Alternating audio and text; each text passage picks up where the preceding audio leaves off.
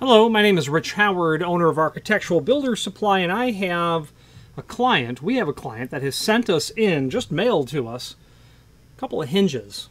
The original hinge, and that's uh, that's some good work right there. That's uh,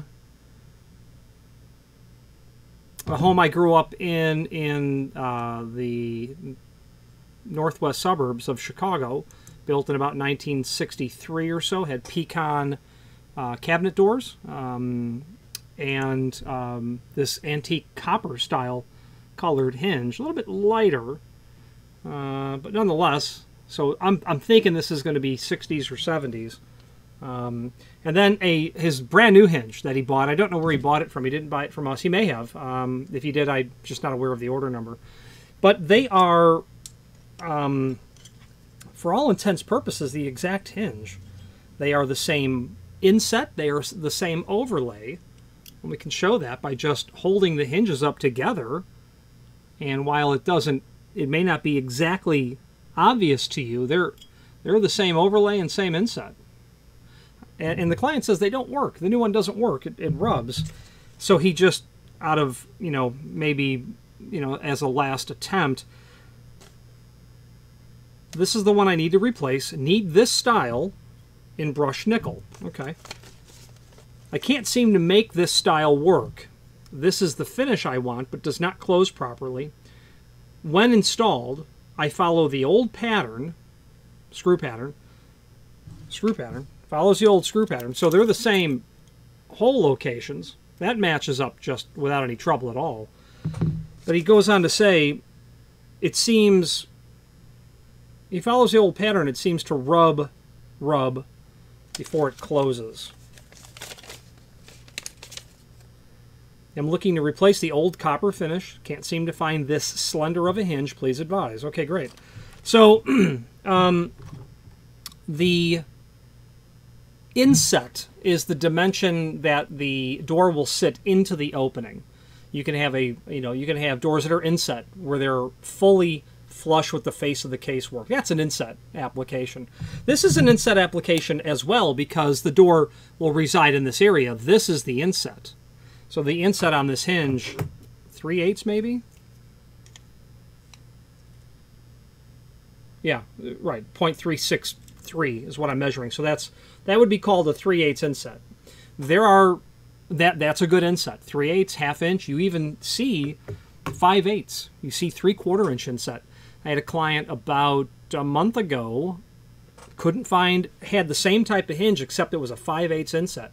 And that's very unusual. I'm not a cabinet hinge expert, but over the decades, you know, I get involved in them. I, I'm forced to face them and, and solve problems with them like now. So this is a 3 8 inset.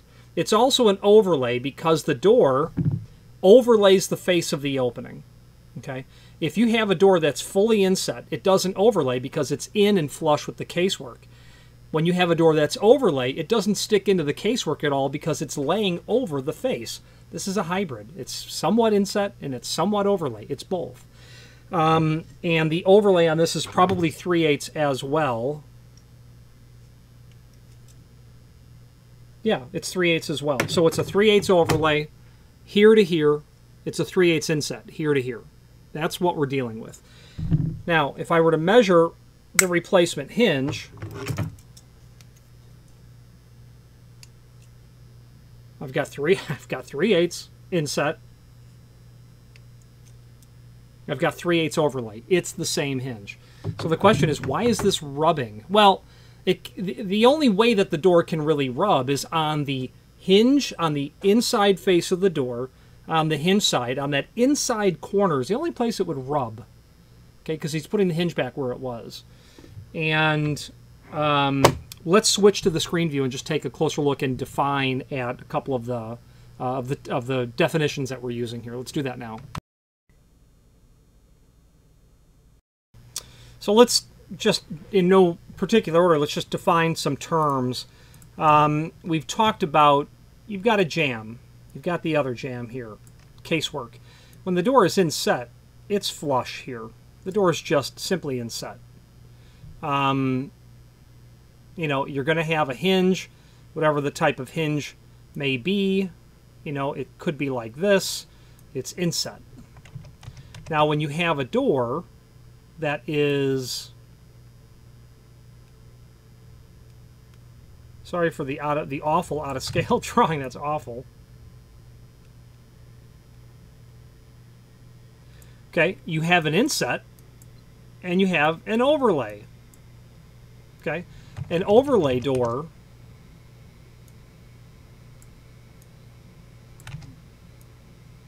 an overlay door would be just literally this. That's an overlay. Okay, but in our client's situation, he's got he's got a door that does like that. Okay, so it's inset and it's overlay.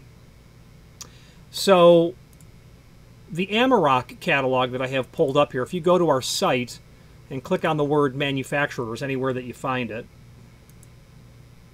and then do a find function on your keyboard for Amerock,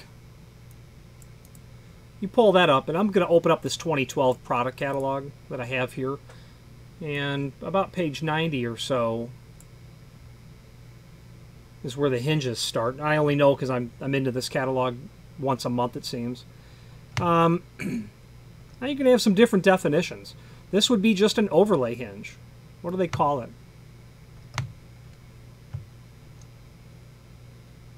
Well, they call it face mount. yeah, sure. I mean, the door happens to be an overlay application. It's a face mount, is what it is. Um, different variety. Okay, here's one. Here is a inset application. Here's here's exactly the hinge we're working on. It's a 3 8 inset with a 3 8 overlay, is what that is. Okay. Now I want you to take note of this line right here. Just, just remember that I'm pointing that out to you. Right there. Um, and as you scroll through the rest of this catalog, you're going to see variations on it. Now, the issue with the 2012 catalog is there's nothing wrong with it. It's, it's a catalog that's eight years old at this point. Um, however, over the decades, lots of different hinges have existed. Here's a different overlay, a quarter inch overlay. I don't know of all of the different overlays that exist or the insets. Well, here's a half inch overlay. So you got two right there. Well, you got three, uh, quarter, three eighths, and a half. And I just show this catalog to you because it does help one, you know, come up with an appreciation of what the terms are. Um, you know, they're just geometric shapes. That that really all you're. That's really all you're working on. You know, now here would be a, an example of a of just a an inset where you have a full surface hinge. And you do see these hinges every once in a while, especially this hammered copper. I think that's what they might call it. AC, I'm not sure what AC is, antique copper, obviously. That sort of idea. Here's another option.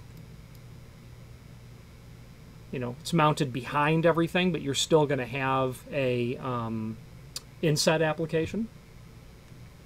Full inset is what they call that. We're just calling it inset.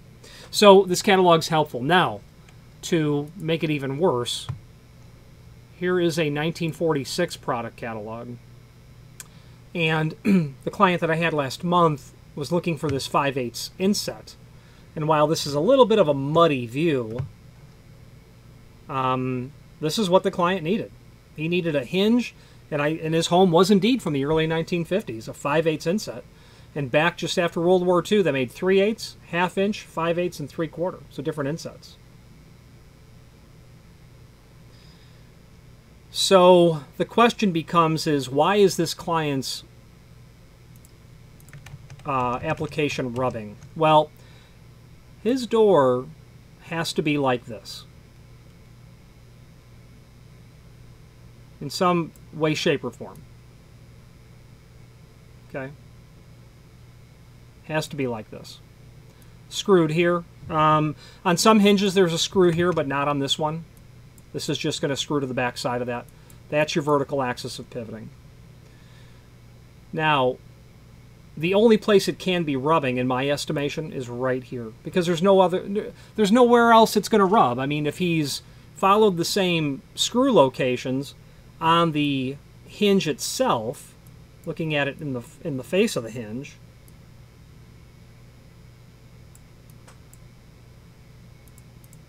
You know, there's there's nowhere else for it to rub. So it it has to be rubbing here. I don't know that it is, but I can't think of anywhere else where it will be. Maybe it's rubbing here, but we have the same um, we have the same overlay. And what we could do is test to see if the dimension from this part of the door to where the screws are is the same dimension. And I've basically done that, and I have, you know, come up with the answer that, yes, the vertical axis of pivoting um, is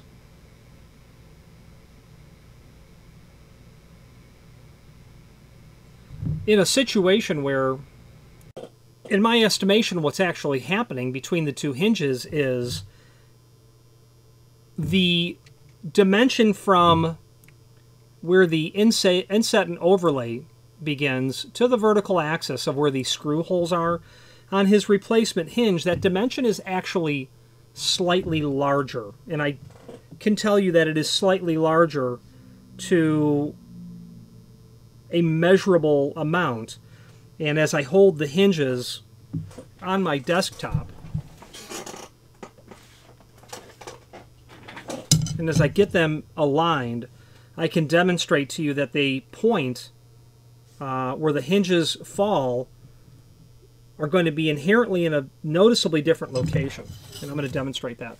So this problem here doesn't account for it rubbing here it would account for it rubbing here, pardon me, here, because that hinge, because the distance from here to here is greater than the original by, and I, I'll estimate that now.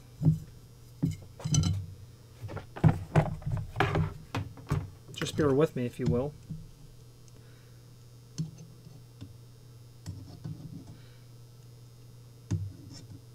just somewhat eyeballing that.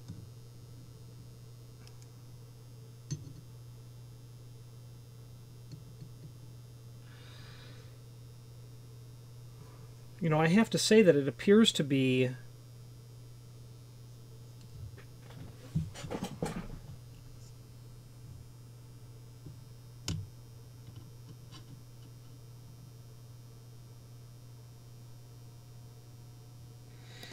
100 thousandths of an inch. So almost an eighth is what it appears to be. So that 0.1 inch is forcing the door over most definitely to this direction. There's another problem though in the, uh, that I've discovered as well. So, and I'll, I'll show you both of these, but the next problem is this. Looking at the hinge leaf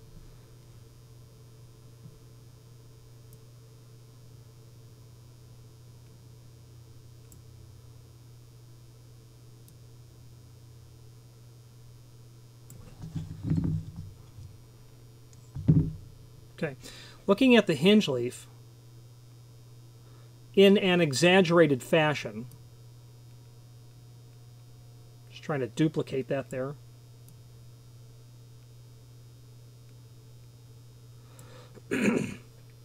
this plane here and this plane here. On the existing hinge,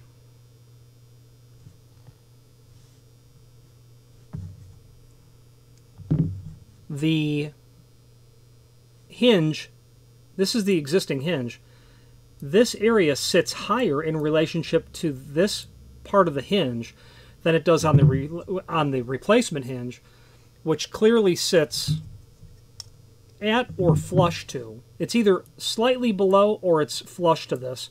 Where the original hinge, this area here, sits higher. And I've measured it, and it's about 40 thousandths of an inch. So that would account for rubbing that would occur here because you've got the door wanting to move in this far because the dimension is increased from where you're mounting it on the frame to where the door is allowed to sit. It's the dimension is greater by about 40 thousandths. So if it's rubbing in one position, it's either here or here, or it's rubbing in both positions. And I would think uh, well, I don't really know. I can't I can't guess where it is, but you know, the difference is far more egregious here. If that hinge, if that margin here was very tight, like a 16th of an inch, yeah, I would expect it would rub. And if that door was really tight to the face of the jamb, like touching it basically, with that 40 thousandths, yes, I would expect it to, to, to be rubbing there as well. So while this hinge seems to be an exact replacement, it's not exact, an exact replacement. So what do you do? Um, well, obviously, doing some sort of cosmetic rework to the existing hinges is a thought, but I think that's an awful idea. Um, you can't get a paint. You're not going to get these clean enough from the decades of use, probably to take a decent finish. Although, I don't know if there's anything in here that's not metal, but if it's not, you may be able to do, if if if if you are not opposed to exerting a substantial amount of work, you might be able to mask off what you don't want painted and then powder coat this, uh, the original hinge. Or you might um, take a planer, or no, no, no, not a planer. Take a get this onto a router table and route this hip back here an eighth of an inch. Route this back a sixteenth of an inch. Just um,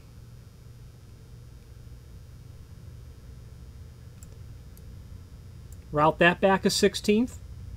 Uh, very likely route that back an eighth, and that will relieve your problem. Doors come off, they're going to go on a router table. It's quick, fast, and easy. Doors go back up. You'll be in front of the TV watching football in no time. Uh, let's wrap up this video on camera, and I'll demonstrate the um, what the, the differences are.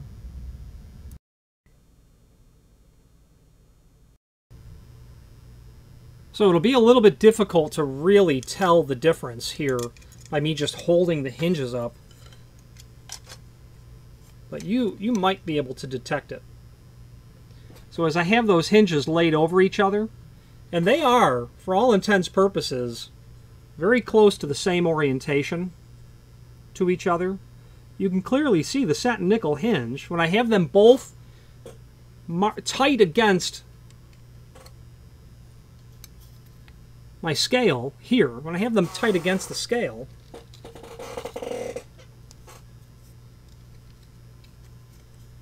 okay, here we go.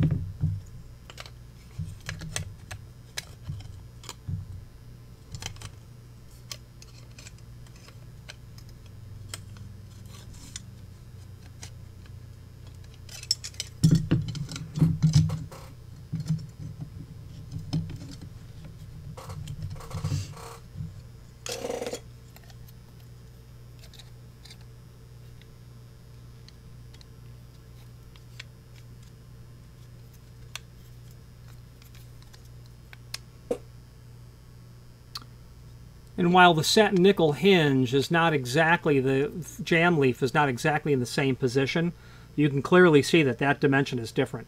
Because it's greater, it's going to force the door to move in that way because that dimension is greater. He's using the same holes. Obviously what would fix the hole, that problem as well, would be to drill all of these holes out, a little bit bigger, whatever the size would need to be. Don't quote me, but 3 16ths. Insert a dowel rod Okay. Clean the face of it. Um, position the door where it needs to be so that nothing rubs. Redrill the two holes. That would also solve the problem. So we can we can see just without me getting out the caliper that that's clearly going to cause that rubbing on the opposite side. Okay, just there.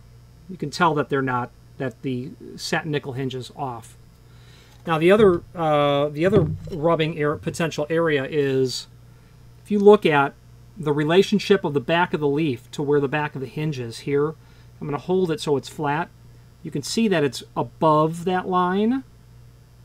It's above. When we look at the satin nickel hinge, when we hold it in the same relationship, it's going to be all but imperceptible, but it's either flush or maybe under slightly under, and I've measured that to be about 40 thousandths of an inch. It's less than a 16th, but who knows? Maybe that's what's causing it. So these imperceptible differences is what the problem is. Depending on where it's actually rubbing for the client, and I don't know um, where it's rubbing, very likely a router table. Uh, I don't think you'll have to refinish anything. Well, you probably would. When you open up your doors, if it's the lateral problem, you'd have to refinish it. But it's going to be one of the two potential problems. Um, you know, the dowel idea of uh, drilling new holes is not such an awful idea. It's just that the back of the frame is probably going to be finished, and as you move that hinge over, you're going to probably have some uh, unfinished area on this side once you have basically relocated the screw hole that way ever so slightly. But when you drill, when you insert a dowel rod, if you need to do repair work to a wood door, if you have, here's an actual example. You have a mortise lock installed onto the front door of a home. You have a, a gorgeous grip handle on the outside, big giant Baldwin Versailles trim on the outside, beautiful material. You have the escutcheon on the inside and an ornate lever on the inside. Well, you rotate that and you move that 3 6 by 7 foot, 2 and a quarter inch, you know, 20 panel mahogany door, and it's solid lumber. It's not veneer at all. Uh, you know, um, built out of two pieces of lumber, like six quarter that have been lam- not six quarter, probably eight quarter that have been planed down and laminated together. That door's got some weight to it. All of that movement of everything back and forth is on that little set screw holding that trim on. And what'll happen is, you know, as you rotate that, this the the uh, escutcheon on the inside can also be stressed. And all you've got are these tiny little screws holding it on. And if you've not pre-drilled that hole very well, the trim will, the escutcheon will come loose. Pull that off, drill a bigger hole, glue, get the right size dowel, drill that hole, glue, put the dowel in, make sure it's flush, let it set overnight, then re-drill your holes. Put those screws right back into solid lumber because that door was made of mahogany, which is not great when it comes to screw withdrawal strength. It's not going to be screw withdrawal strength uh, tough like a like a you know like maple um, or the exotic material, African species of wood, even oak for that matter, for goodness sakes. Um, you know, mahogany is a is a and it was a it was a Central American species uh, of mahogany, so it's heavy, but not super heavy, but not very dense when it comes to screw withdrawal strength. So um, those are the ideas that I've come up with, and I hope that that helps solve the problem. And um, please do let me know how it turns out, and let me know what to do with your hinges. I don't I do have your address. I will wait for your response and get them sent back to you. Thank you. Again, thank you for watching, and if you've enjoyed this video, please click thumbs up, please subscribe, and maybe even send the video to someone that you know. Thank you.